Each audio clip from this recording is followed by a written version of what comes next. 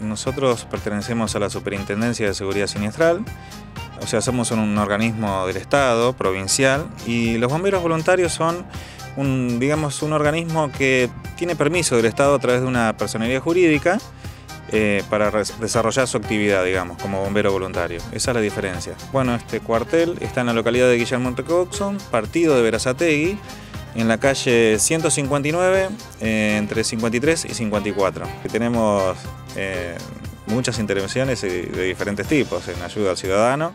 Generalmente cuando una persona está en su hogar o en su oficina o en, su lugar de trabajo y hay algún tipo de accidente o incidente, al primero que llama es al bombero en sí. Bueno, tenemos rescate de animales domésticos y todo tipo de actividades, digamos. Tenemos dos autobombas eh, un Mercedes-Benz 1622, un Mercedes-Benz 1114, eh, dos camionetas, una forestal y una con equipo espumígeno, que es la que ustedes están viendo acá. Y con ese, bueno, el equipo ese que tenemos para el trabajo de diario, digamos. Ser un, organismo del Estado no tenemos jurisdicción y si ocurre un hecho en lo que es la autopista Buenos Aires-La Plata, que es un acceso importante y de gran afluencia de vehículos, eh, digamos, tenemos intervención en accidentes y eh, incendios de vehículos, eh, todo tipo de, incidentes en sí.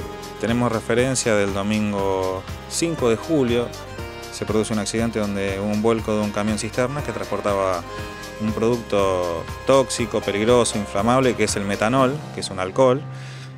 bueno, tuvimos una denuncia telefónica, se acudió al lugar y al, verificar lo, bueno, la circunstancia esta de, la sustancia peligrosa, eh, se actuó tomando medidas de prevención, como es eh, conteniendo el derrame que en su momento se estaba produciendo sobre la cinta asfáltica, eh, con absorbentes que se utilizan para ese tipo de, líquidos, y después en prevención de incendio con espumas líquidas que se digamos, que se colocan en el lugar para que no, se produzca la emanación de vapores, que es lo peligroso de esta sustancia. Eh, para estar en bomberos uno le tiene que gustar este trabajo, tiene que tener una vocación de ayuda.